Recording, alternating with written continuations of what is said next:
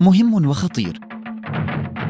ماذا يحدث لشرائح لحم الغنم عند وضعه على الفحم وخاصة الشقف والكباب؟ نحن نأكله ولا نعرف هذه المعلومة.